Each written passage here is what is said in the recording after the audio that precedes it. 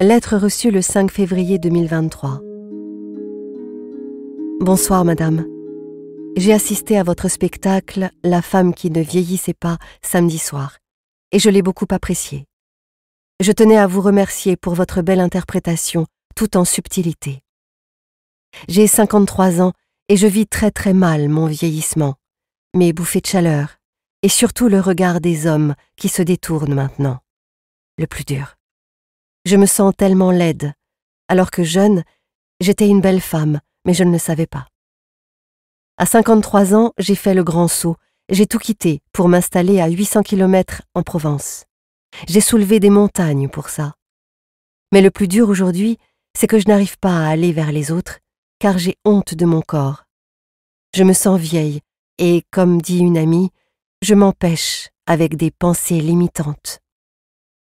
Dire que la pièce m'aidera désormais à mieux vivre cette décadence serait un mensonge. Mais les mots m'ont touché. Votre beauté et votre élégance me donnent envie de ne pas baisser les bras, en espérant que cela ne sera pas un vœu pieux. Si vous chuchotez à l'oreille des hommes, donnez-leur envie de nous regarder encore, nous, les femmes de plus de 50 ans, que nous ne sommes pas des yaourts avec une date de péremption. Mais c'est tellement culturel que cela m'étonnerait que ça marche. Je vous souhaite de beaux spectacles à venir.